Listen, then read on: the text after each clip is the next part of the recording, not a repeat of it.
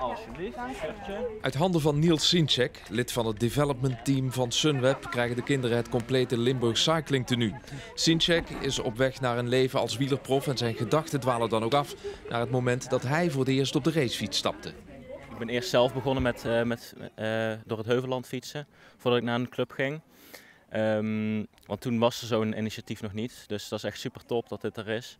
En uh, daardoor heb ik ook kennis gemaakt met wielrennen. En ik denk dat dit, de wielerschool hier, dat dat echt een, een mooi initiatief is.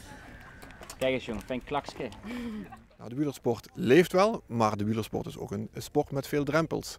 Dat is ook de reden dat wij met de wielerschool willen starten om die drempels weg te nemen. Dat we ook zorgen dat de kinderen een fiets die niet hebben een fiets kunnen krijgen en tijdens dat hele jaar kunnen gebruiken. Maar het begint wel steeds meer te leven. En uh, we hebben een mooi eerste jaar achter de rug en we hopen volgend jaar uh, de volgende stap te kunnen zetten. De trainingen vinden plaats op het Tom Dumoulin Bikepark in Sittard. Het wielerschooljaar bestaat uit diverse onderdelen, altijd met professionele begeleiding. Ze krijgen techniektraining, duurtrainingen. We gaan een keer naar een wedstrijd toe, we gaan een keer een toertocht deelnemen. Uh, een keer een motorbike clinic, een, uh, een wielerclinic door een professional. Of je stelt je vragen aan talenten als Niels Sincek, die in zijn eerste advies vooral de nadruk legt op plezier. Is het iets voor jou? Uh, vind je het leuk?